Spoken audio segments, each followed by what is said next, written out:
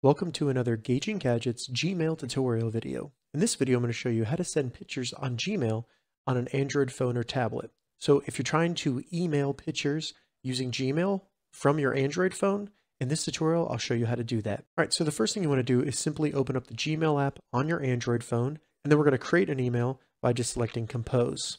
I'm just going to send this to myself so that we can see it actually send the image, add a subject, and then I'm going to add the body of the email. Now that we have our email created, we need to attach the picture that we want to send.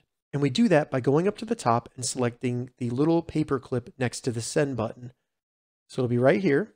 And you have two options. You can either attach the file or the picture if it is stored on your phone, or you can insert it from Google Drive. I'm going to attach the file directly from my phone, so I'll select Attach File. I'll find the image. The image is right here. Then you just need to open up the image, and as you can see, it's attached it to the bottom right there. So now all I need to do to send this picture is simply select the send button in the top right. Now that I've sent the picture, when I open up the email that I sent, you can see that it includes the picture and I can open it up and I can see it there. All right, so that's how you send pictures on Gmail on an Android phone. If you have any questions about this, leave a comment below. I'll get back to you as soon as I can. If you'd like to see more Gmail or Android tutorial videos, check the links in the description. If this video helped you, give it a thumbs up and please consider subscribing to my channel, Gauging Gadgets, for more gadget reviews and tech tutorials. Thank you so much for watching.